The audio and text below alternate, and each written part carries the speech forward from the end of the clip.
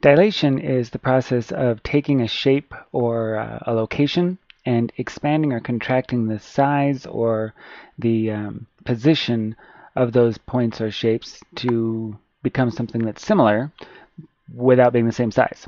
In other words, if we have, um, say, a triangle, and this triangle is three units on each side, and now we're going to dilate it by we call it a k factor. The k factor is the scale that we dilate it by. Dilate it by a factor of 2.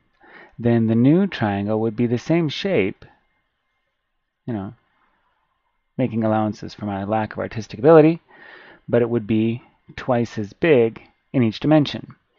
Now there has to be a k factor. In other words, it has to be, we have to know what that uh, relation to the original figure is, and we also have to know what the center of the original figure is, or the center of our uh, dilation, so that we know which direction uh, in order to expand things. In other words, if I were just going to expand this in this direction, then I'd go three farther this way, and I'd go three farther this way, and the whole figure would end up looking exactly the same. Um, because this is the center here, in my particular example, I end up expanding each of the vertices of my triangle away from that center by a factor of 2. So whatever this distance is here, I double it to get to the new one, and I take this distance here and double it to get to the new one, and so forth, so that I end up with my new figure, which is twice the size in each dimension. let's take a let's do another example here. We'll do a square. So suppose I had a square that was, we'll call it 4 on each side here. Something like so. And we'll say that this is 4 units in each direction. And I need to dilate it by a k of 1 half.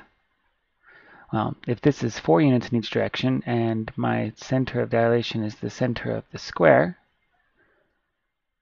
then my new square would end up being positioned directly inside,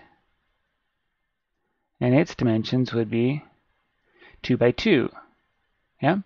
And if I were to label the sides of the original square, well, let's label the vertices A, B, C, D, and then label the vertices of the new one E, F, G, H, I can either label them as separate figures or, assuming that I've come up with that middle square by a dilation process, what I can do is label it with a unit called prime, this little apostrophe figure here. And prime means that it's a copy.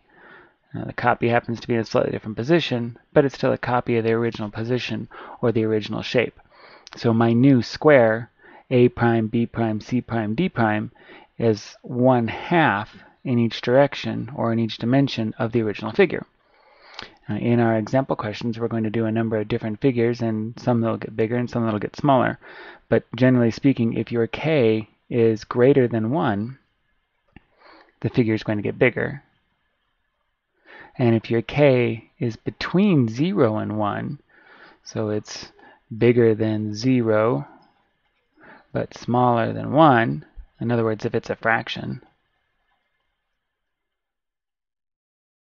then your new figure will be smaller than the original. All right, that's it for the concept.